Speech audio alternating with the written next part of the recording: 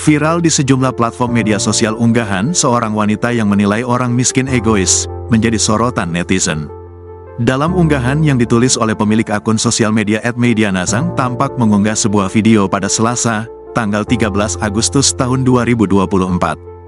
Dalam video berdurasi 12 detik tersebut, ia tampak tengah makan di sebuah meja makan dengan baju berwarna putih serta rambut terurai.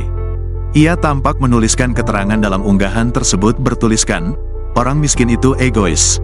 Mereka selalu menuntut hak bantuan kepada pemerintahnya membebani APBN. Sementara, tugas mereka hanya berkembang biak dan melanjutkan rantai kemiskinan melalui keturunan mereka. Jangankan mewariskan harta ke anak mereka, mewariskan pendidikan pun mereka tidak mampu. Tulis keterangan dalam unggahan tersebut.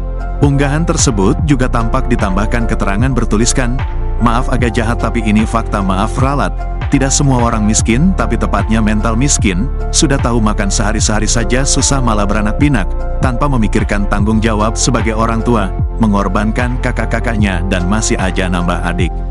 Ada yang sampai makan kertas, ada yang uang bansos dipakai buat taruhan, judi dan lain-lain, tulisnya dalam unggahan tersebut. Unggahan tersebut sontak mendapat ratusan ribu suka dan puluhan ribu komentar.